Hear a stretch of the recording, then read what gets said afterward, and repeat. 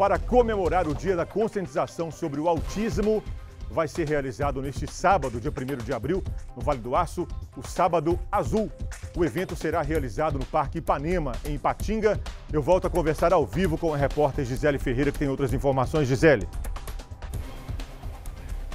Ô Saulo, este evento ele é promovido pelo vereador daqui de Patinga, Avelino Cruz, que inclusive é pai de filho autista, então ele defende essa causa, né? Uma, uma causa bastante é, defendida por ele aqui, é, aqui em Patinga, na região e também na Câmara de Vereadores. E ele está propondo esse evento justamente para poder levar mais conscientização para as famílias e também para a sociedade. E também abrindo a campanha do a, Abril Azul, que tem justamente esse objetivo, né, vereador, de conscientizar essas pessoas.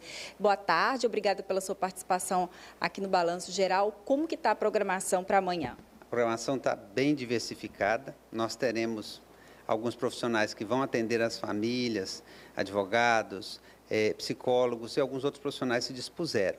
Nós vamos ter o momento da família inteira. Brincadeiras, vamos ter oficinas com brincadeiras pedagógicas e algumas outras formas, porque muitas vezes nós nos limitamos a medicamentos e terapias médicas. Existe uma gama muito grande, a gente quer mostrar nesse momento às famílias que é possível trabalhar as terapias além daquilo que se faz dentro de um ambulatório, dentro de uma clínica. Então, a gente reúne a sociedade para que ofereça à família e aos autistas esse momento especial com o Sábado Azul.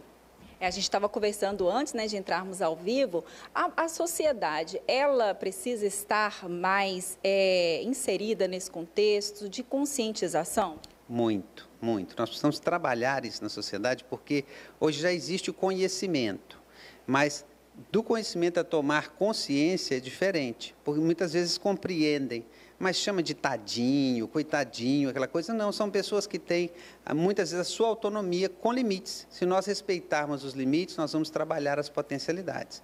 E nós conversamos também que nem sempre o nosso foco é o autista. Muitas vezes é a família, é o ambiente escolar, é o ambiente social, para que possamos interagir e ajudá-los a é, ultrapassar os seus limites. Hoje são cerca de 6 a 7 mil autistas aqui em Ipatinga, né? O serviço público oferecido hoje, ele suporta essa demanda? Infelizmente não. Se nós olharmos tanto o público quanto o privado, mesmo quem tem recurso tem dificuldades. Os profissionais da área, os, os que têm a especialização, estão em falta no mercado todo. Nós não estávamos preparados para esse boom, né? essa quantidade de gente que nós íamos de descobrir com deficiência na, nessa área. Nós estamos falando do autista, mas existem outras também que vão, comorbidades que vão somando. Então, nós temos um desafio. Né? O, o, o poder público luta para poder vencer, mas mesmo unindo com o privado, hoje nós ainda temos um déficit para os profissionais da área. Agora, vereador, existe uma forma que as pessoas, né, elas conseguem identificar uma criança que está no espectro autista ou até mesmo um adulto? É, o, o diagnóstico vem pela junta médica, nem sempre é um médico só, existe uma junta. Mas nós podemos perceber os limites, né? Hoje nós já percebemos, é muito comum, olha, meu avô, meu pai, meu tio era autista e viveu. Então nós temos que trabalhar isso. Aqueles que têm um autismo mais leve terão uma vida normal dentro da sociedade entendendo e respeitando seus limites. O que tem um autismo mais severo vai ter acompanhamento e também pode ter uma inserção na comunidade perfeita. Agora, a, a compreensão, a gente tem que tomar cuidado entre conhecer e julgar. Né? Alguns termos, graças a Deus, estão sendo banidos da nossa linguagem, mongoloide, é, retardado, essas coisas, porque isso é pejorativo, isso destrói a autoestima da pessoa. Mas a gente precisa avançar. Então, essas iniciativas, por mais que pareçam pequenas, elas são intensas quando envolve tanto a pessoa com deficiência quanto a sua família e a sociedade. Ainda quais são as principais dificuldades hoje? O tratamento é o primeiro, né? E o conhecimento porque muitos pais e familiares, se conhecessem como lidar, que é a nossa preocupação, conseguia é, acelerar esse processo. A gente brinca que antigamente, por que, que não tinha tanto autista?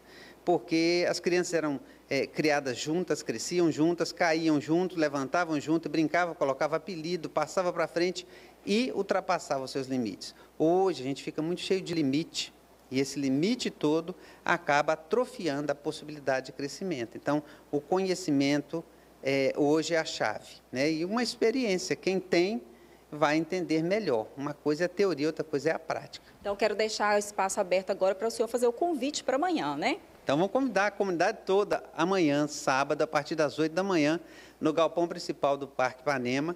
A gente vai estar reunido lá, é entrada franca, e nós fazemos questão que você esteja. Brincadeiras, vai ter é, pipoca, vai ter algodão doce e muitas outras coisas, as oficinas, e nós vamos atender a todos aqueles que chegarem. Serão todos bem-vindos, tá? Muito obrigada, vereador. Saulo, eu volto com você aí nos estúdios.